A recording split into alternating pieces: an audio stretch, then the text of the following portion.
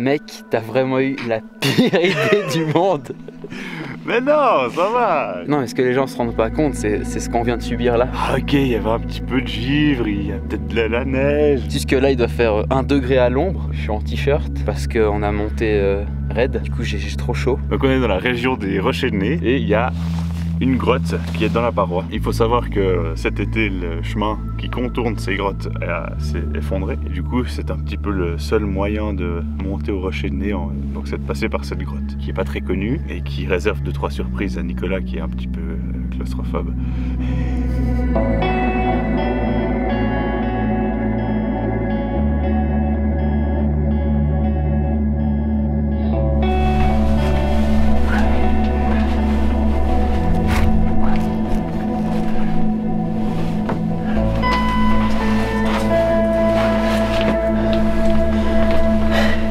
On est rentré dans la grotte. Donc il y avait un petit panneau à l'extérieur qui disait euh, de toujours, suivre à gauche. Ces grottes sont assez grandes et il y a pas mal de couloirs. Dans tous les cas, faut pas vous inquiéter, il y a des chaînes, il y a des échelles. Et euh, la grotte, si vous la prenez par en bas, commence par un boyau assez étroit d'une vingtaine de mètres. Après c'est plus large, c'est plus grand, il y a de belles cavités.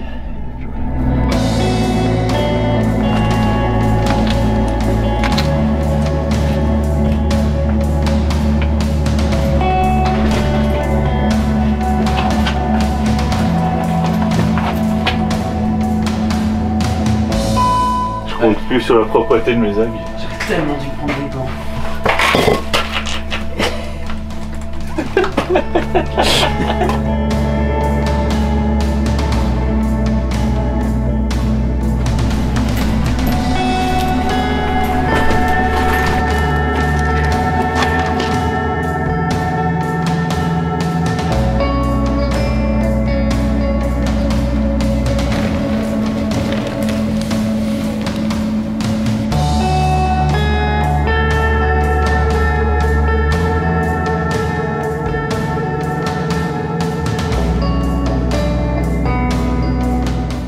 Donc là, on est euh, au début du boyau dans le sens de la descente. Et on remarque que c'est vraiment euh, assez étroit. je suis pas sûr de pouvoir passer avec mon sac. Aïe. Il est bien.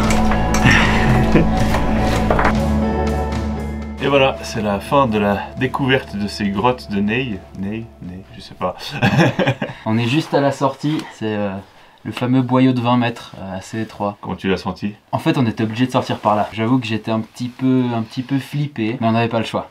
Donc ça allait. On espère que la petite surprise qu'on a fait à l'intérieur de la grotte euh, vous a plu, vous a fait sourire, ou vous a peut-être fait rire. À un moment, il y a un, un groupe de marcheurs. Il y a deux marcheurs qui sont passés, qui nous ont dit que, que ça sentait la fondue depuis l'entrée déjà. Donc euh, Renseignez-vous aussi si vous voulez faire euh, une randonnée dans la région. Ces temps, le chemin extérieur aux grottes de Ney est fermé. Il a été détruit par un éboulement cet été. Donc euh, regardez un peu sur internet pour savoir s'il a rouvert. Il me semble que non, qu'il n'a pas encore ouvert. on espère que cette vidéo vous a plu. N'hésitez pas à vous abonner à la chaîne YouTube loisir.ch, liker notre page Facebook. Et nous, on vous dit à très bientôt pour une nouvelle vidéo. Ciao. Ciao.